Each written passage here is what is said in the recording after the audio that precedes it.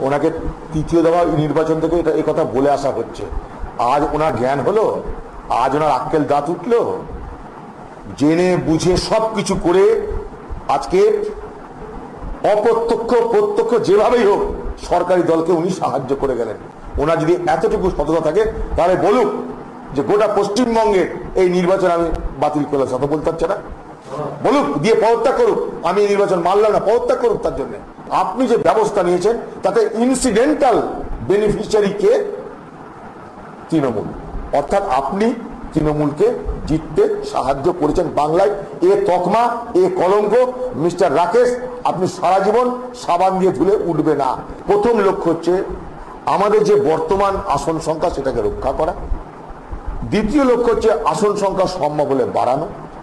তৃতীয় লক্ষ্য, আমাদের ভোটের শেয়ার শতাংশে আমাদের ভোটের পরিমাণ বাড়ানো এই তিনটে হচ্ছে আমার লক্ষ্য তার মধ্যে প্রথম লক্ষ্য আশা করি আমরা সফল হব দ্বিতীয় লক্ষ্য সেটাও আমার আশা একটা হলেও সিট তার মধ্যে যুক্ত হবে তৃতীয় লক্ষ্য কংগ্রেসের শেয়ার বাড়বে সেটাও আমরা সফল হব चुनाव के दिन स्पेशल ऑब्जर्वर जिनको भेजा गया था जिन्होंने बंगाल में जाकर बहुत सारे ढिंडोरा पीटी कि हम दिखा देंगे कि कौन सा दवाई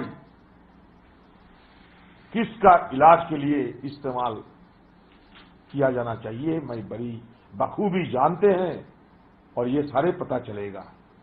लेकिन जिस दिन डॉक्टर साहब को ये दवाई देने की उम्मीद की थी उसी दिन, और डॉक्टर साहब खुद गायब हो गए थे। कहाँ से किसी को नहीं पता था। सत्तारूढ़ पार्टी जिस तरह के दहशतगर्द की, गुंडागर्दी की, गोलीबारी की, अरे, जो मतदान करने जाते मतदानकारी के ऊपर गोली चली। तो ये देखकर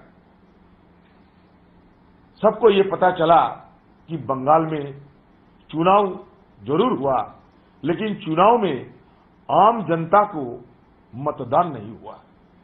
अब तक की जो रिपोर्ट है मेरे पास, मेरा हवाले अब तक की जो रिपोर्ट आए हैं, इसमें एक हज़ार एक सौ पैंसठ बूथों में नए सिरे से चुनाव कराना चाहिए, रिपोलिंग कराना चाहिए।